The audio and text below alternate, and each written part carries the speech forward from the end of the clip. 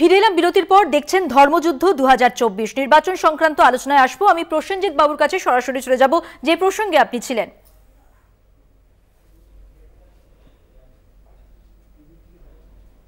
কথা বলছেন বিজেপির, যিনি বন্ধু আছেন। তো ওনার কাছে প্রশ্ন করছি যে উনি ভারতবর্ষের বিজ্ঞান নীতি, এই নীতি, ওই নীতি, ভারতবর্ষের উত্তরপ্রদেশ থেকে আরম্ভ করে সব জায়গায় হিংসা বন্ধ হয়েছে। অনেক কথা বললেন। কিন্তু ভারতবর্ষের মানুষ যে জ্বালায় জ্বলছে, সেই জ্বালা থেকে ভারতবর্ষের মানুষকে এই বিজেপি সরকার কতটা মুক্তি দিয়েছে, সেটা ওনাকে আগে বলতে হবে। পেট্রোল, ডিজেল, গ্যাসের দাম বেড়েছে, আজকে জিনিসপত্রের দাম প্রত্যেক দিন বাড়ছে। আজকে ভারতবর্ষের সীমান্ত সুরক্ষিত নয়। যখনই একটা করে নির্বাচন আসে, ভারতবর্ষের সীমান্ত উত্তাল হয়ে ওঠে। কখনো পুলওয়ামার মতো ঘটনা ঘটে সেখানে চারশো কেজি আরডিএক্স আছে, কোথা থেকে আসে, আমার সেনাবাহিনীরা কীভাবে মারা যায়, তার কোনো নথি পাওয়া যায় না। যেখানে ভারতবর্ষের সম্পদকে লুট করে দু তিনজন ব্যবসাদার আর দাঁড়িয়ে দাঁড়িয়ে দেখে ভারতবর্ষের প্রধানমন্ত্রী থেকে আরম্ভ করে ভারতবর্ষের স্বরাষ্ট্রমন্ত্রী এবং ভারতবর্ষের লাভজনক সংস্থাকে এই শিল্পপতিদের হাতে তুলে দেওয়া হয়। আর ভারতবর্ষের সাধারণ মানুষ না খেতে পেয়ে মরে, তাদের জন্য এই সরকার কি করেছে বলতে হবে। আর উত্তরপ্রদেশের কথা বলছে, ওনারা শান্তির রাজ্য প্রতিষ্ঠা করেছে, বিলকিস বানুকে যারা ধর্ষণ করল, তারা যখন জেল থেকে বেরিয়ে এলো, তাদের মালা পরিয়ে বরণ করানো হল। সুতরাং ওনারা বড় বড় কথা যত কম বলে, তত ভালো। আজকে উত্তরপ্রদেশে দলিত ছেলেটার মুখে পেশাব পিড়ে দিচ্ছে আজকে তাদের নেতারা। আজকে দলিতদের ওপর অত্যাচারে উত্তরপ্রদেশ এক নম্বর, দ্বিতীয় হচ্ছে মধ্যপ্রদেশ, তৃতীয় রাজস্থান। আর ওনারা বড় বড় কথা বলবে যে ভারতবর্ষকে ওনারা স্বপ্ন দেখাবে, মিথ্যা স্বপ্ন ভারতবর্ষের মানুষকে দেখাবে। যে কথা ওনারা এর আগের নির্বাচনে বলেছেন যে ভারতবর্ষের মানুষের আমরা ক্ষমতায় এলে পনেরো লক্ষ টাকা করে মানুষের আচ্ছা অ্যাকাউন্টে প্রসেনজিৎ বাবু পৌঁছে দেবো। আপনাকে আপনাকে একটা কথা বলি। একটা কথা আপনি আপনি যে অভিযোগগুলো করছেন অবশ্যই সেদিকে আমাদের নজর রয়েছে এবং নিশ্চয়ই যারা রয়েছেন তারা তাদের প্রতিক্রিয়ায় কি বলতে চান আপনাদের বা আপনাকে শোনাবো কিন্তু একটা বিষয় ভোট শুরুর আগে বোমাবাজির অভিযোগ এসছে ডোমকল থেকে পাশাপাশি পান্ডুয়ার ঘটনা এবং যা যা ঘটছে রাজ্যে ভোট ভোটের এই আবহে নির্বাচনের এই আবহে সেইগুলোকে নিয়ে কি ভাবছেন দেখুন কোন রকম হিংসা কোন রকম সন্ত্রাসকে আমরা প্রশ্রয় দিই না এবং আমরা সমর্থন করি না। এত রক্তপাত হয় কেন? আজকে বিরোধী নির্বাচনে রাজনৈতিক দল তারা পেরেছে নির্বাচনে এত রক্তপাত হয় কেন? বাংলায় তাদের জমি বলতে দিন আপনি কথাটা বলতে দিন হ্যাঁ না আমার দুটো প্রশ্ন করলাম যে পশ্চিমবঙ্গে এত রক্তপাত হয় কেন? বলতে দিন আপনি। হ্যাঁ বলুন। গত পঞ্চায়েত নির্বাচনে তৃণমূল কংগ্রেস কর্মী সব থেকে পঞ্চায়েত ভোট রেফারেন্স দেবেন না। পঞ্চায়েত নির্বাচনে কথা বলতে পঞ্চায়েত নির্বাচনের রেফারেন্স দেবেন না। হচ্ছে না, মানুষ দেখছে তো, মানুষ হাসবে। পঞ্চায়েত নির্বাচনের রেফারেন্স দেবেন না। বলবেন তত মানুষ কথা বলবেন পঞ্চায়েত নির্বাচন, মানুষকে একটা বড় করে বড় কথা বলবেন না। চেষ্টা করেন। আপনার নির্লজ্জ। বড় বড় বাচ্চা বাচ্চা আপনারা ছেলেমেয়েদের এই নির্বাচনে আপনারা হবে বলে। গোহারা বাচ্চা হারবেন। বাচ্চা আপনাদের এইসব উস্কানিমূলক কথাবার্তার দ্বারা হত্যা হয়।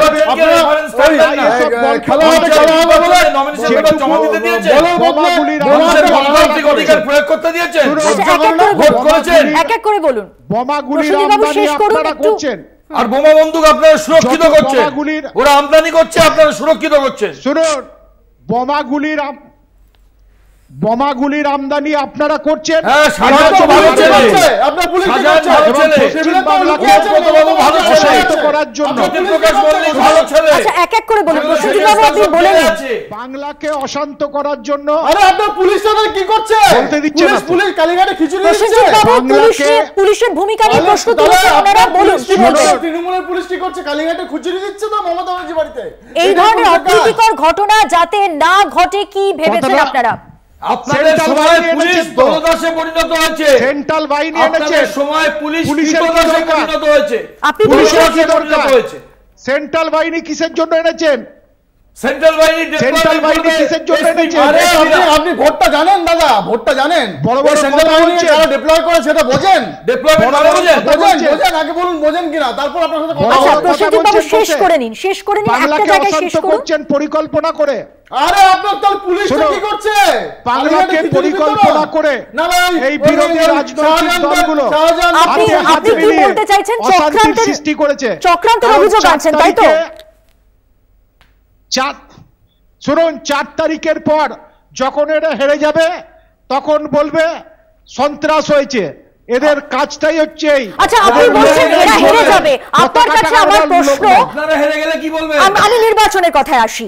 এই যে চারটি কেন্দ্রে ভোট গ্রহণ আহ, চলছে এবং প্রথম দফা দ্বিতীয় দফায় মানুষ কেন ভোট দেবে তৃণমূলকে? কি মনে হয় আপনার? কেন? মানুষ কি পাবে? আপনাদের কাজের কথা বলুন। দেখুন উন্নয়নকে সামনে শুনুন একটা সরকার ভারতবর্ষে যারা মিথ্যা স্বপ্ন দেখিয়েছে আর মানুষের সাথে মিথ্যা কথা বলে প্রতারণা করেছে। অভিযোগ নয় কি করেছেন মমতা ব্যানার্জি বাংলার মানুষকে চৌষট্টিটা প্রকল্প ঘরে ঘরে পৌঁছে দিয়েছে।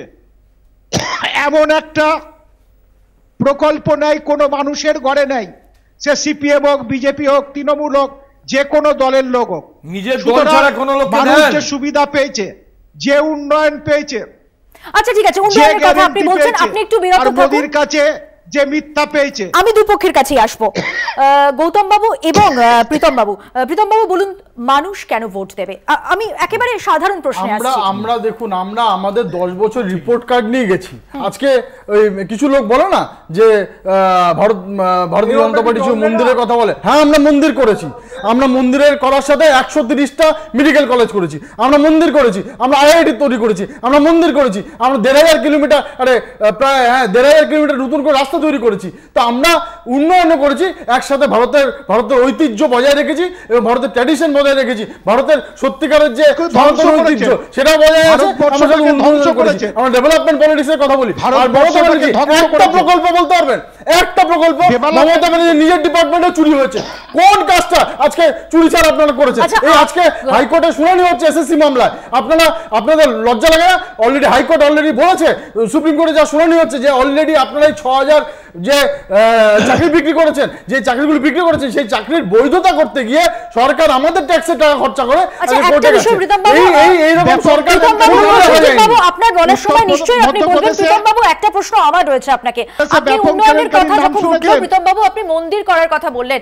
সেক্ষেত্রে এটা কি কোথাও গিয়ে আবেগে ঢেউ তুলতেই মন্দির করা মানুষের আবেগকে ধরার জন্য গৌতম বাবু আপনার কাছে আসব। প্রীতম বাবু এই উন্নয়নের সঙ্গে মন্দিরের জায়গাটা একটু যদি একটু বিশ্লেষণ করেন। বা না দেখুন আজকে আজকে আমাদের তো আমরা তো কোনো কিছু হিডেন এজেন্ডা নয়। আমরা যা যা বলি তা আমাদের ম্যানিফেস্টো থাকে সবসময় থাকে। তো আমরা যেটা বলেছি সেটা করে দেখিয়েছি। আমরা তিনশো সত্তর দ্বারা প্রথম দিন থেকে শ্যামাপ্রসাদ মুখার্জি যার জন্য এটা বিশ্লেষণ যে লক্ষ্য হলো তৃতীয় দফা নির্বাচনের আগে হিন্দু ভাবাবেগকে কিছুটা উস্কে দেওয়া এই চেষ্টাটা এবার হচ্ছে এই দফা এসে। না না হিন্দু গোটা দেশের প্রেক্ষিতে বলছি। আজকে দেখুন হিন্দু ভাবাবেগ আছে হিন্দু তো এই ভারতবর্ষের নাগরিক এবং তারা আজকে বেশি পরিমাণে আছে। তা আমরা হিন্দুদের কথা বললে কি অসুবিধা আছে? আমরা হিন্দুদের কথা বলব মুসলমানদের কথা বলব। আজকে তিন তালাক যে আজকে মোদিজি ওটাকে উঠিয়ে দিয়েছেন তার জন্য মুসলমান মেয়েরা কৃতজ্ঞতা নেই? হান্ড্রেড পার্সেন্ট আছে। তার কারণ হচ্ছে দেখুন আজকে আমরা হিন্দু মুসলমানের পলিটিক্স করি না। আজকে আমরা দেখেছি এই মুখ্যমন্ত্রীকে আজকে ঈদের নমাজের মঞ্চে গিয়ে কি করে ধর্মীয় বিভাজন করেছেন? আমরা ডেভেলপমেন্ট পলিটিক্স করি। আমি তো সেটাই বললাম যে আমরা যেরকম মন্দিরে করি আমরা রাস্তাও তৈরি ও, করি আমরা যেরকম মন্দিরে করি আমরা মেডিকেল কলেজ তৈরি করি। আমরা যেরকম মন্দিরে করি আমরা আইআইটিও তৈরি করি। আমরা যেরকম মন্দিরে করি আমরা প্রত্যেকের বাড়ি প্রায় চার কোটি বাড়ি আমরা করে দেওয়া হয়েছে। তো আজকে যদি বলুন না আজকে যদি ভারতবর্ষে যদি এর আগে সরকারগুলো যদি এই বাড়িগুলো করতো তাহলে তো নরেন্দ্র মোদী দরকার হতো না। আমরা যে মন্দিরে করি প্রত্যেকের জন্য শৌচাগারও তৈরি করে দিই। সুতরাং ভারতবর্ষে ডেভেলপমেন্ট পলিটিক্সটা আজকে নরেন্দ্র মোদী সরকার নিয়ে এসছেন এবং সেটারই রিপোর্ট কার্ড নিয়ে আমরা মানুষের কাছে যাচ্ছি। এবং মানুষ আমাদেরকে দুহাত তোলে দুহাত ভরে আমি আসব, আমি আসব, এই প্রসঙ্গে আসব। এই মুহূর্তে বড় খবর- এই মুহূর্তে বড় খবর। নির্বাচন ছাড়া আরও একটি বড় খবরে আমরা নজর রেখেছি সুপ্রিম কোর্টের চাকরি